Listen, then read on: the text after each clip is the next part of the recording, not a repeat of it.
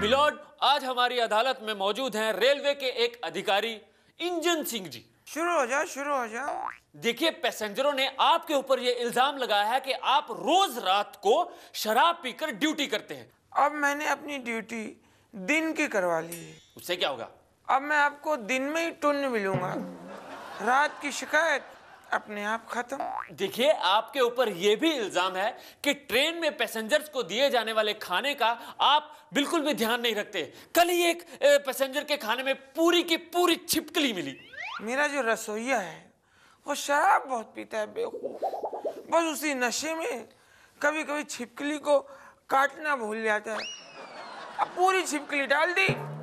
देखिए आपके ऊपर यह भी इल्ज़ाम है कि यात्रियों को दिए जाने वाला बिस्तर बहुत ही गंदा और बदबूदार होता है। मैं पिछले पाँच साल से सारे पैसेंजर्स को वही बिस्तर दे रहा हूँ।